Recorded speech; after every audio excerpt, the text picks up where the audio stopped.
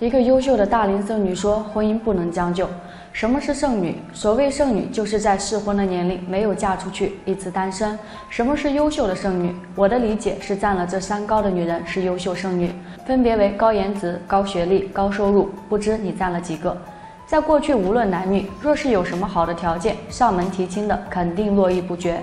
在现代不同了，现在随着时代的发展，年轻人的思想观念也发生了改变。”越来越多年轻人开始崇尚独立自由。反观那些条件好的剩女，她们都宁缺毋滥，不将就，眼光也很高。因人而异，不代表所有剩女。仔细想想，女人条件这么好，有车有房，又经济独立。如果以打分为标准，优秀剩女是六十分，那么找个七十分、八十分的优秀男人做结婚对象，眼光高也没什么。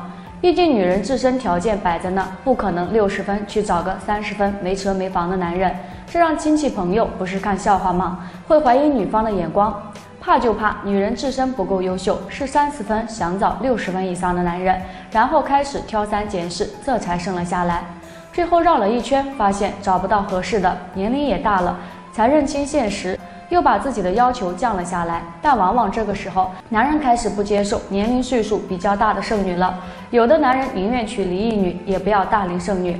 而且越是优秀的大龄剩女，越难找合适的对象，特别是一线城市，剩女比例超过了剩男。这些剩女有的抱着不结婚的心态，有的在原地等待爱情的到来，有的放低要求也没嫁出去。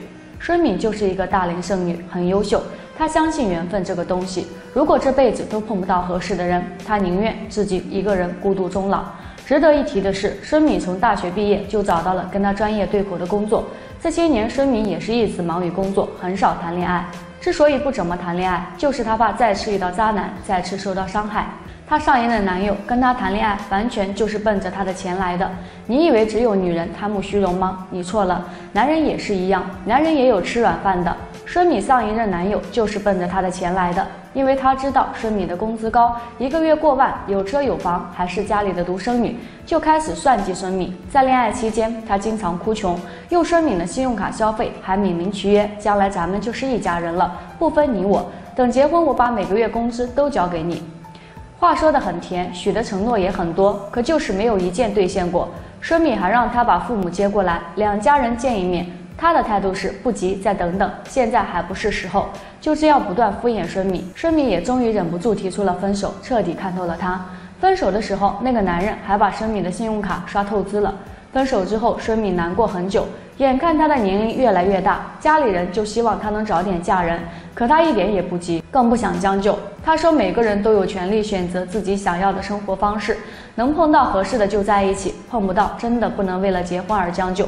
知道为什么近年来离婚率和出轨率这么高吗？那就是太多的人婚前选择了将就，婚后闹到了离婚。总而言之，就是没有遇到对的人。如果是这样，还不如不结婚。